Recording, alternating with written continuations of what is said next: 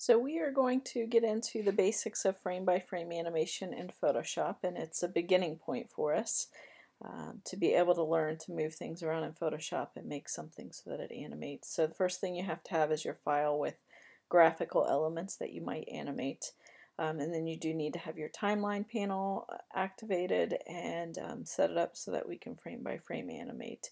So we are going to hide a few things. This file is set up so that it could be used to animate either a ball that bounces or a rocket ship that's going to take off. So things are not in position yet and we're going to actually move them around. So we're going to take this rocket and move it here.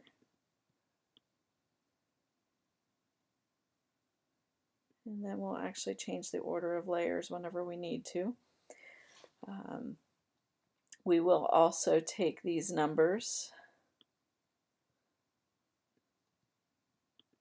and move them.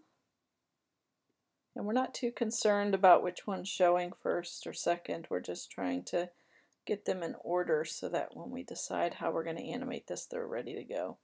So you want to have them in the perfect position before you start animating.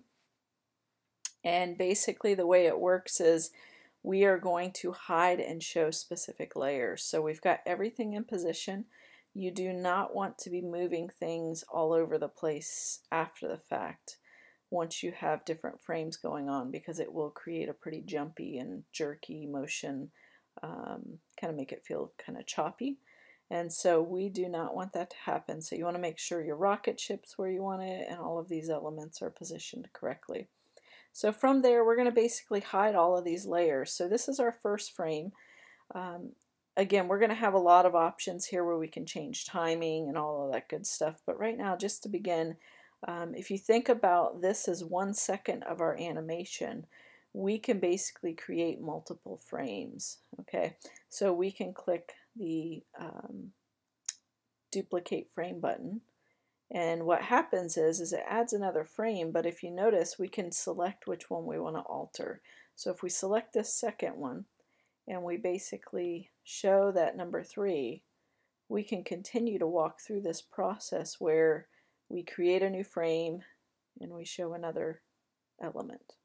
So in this case, we're kind of counting down.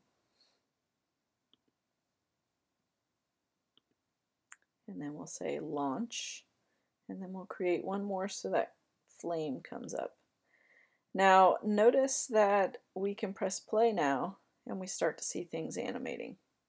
Okay, so we are going to teach you um, another form of animation shortly to show you how to get this rocket ship to go up. Um, you could technically, if you wanted to, frame by frame animate this and just select multiple things at once. Actually, just the rocket and the flame and make it go up like maybe a few nudges.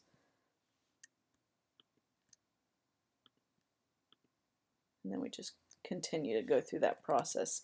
But as you could imagine, this is going to take forever to frame by frame animate something. Um, and we'll just play just a short amount. This is maybe nine seconds worth.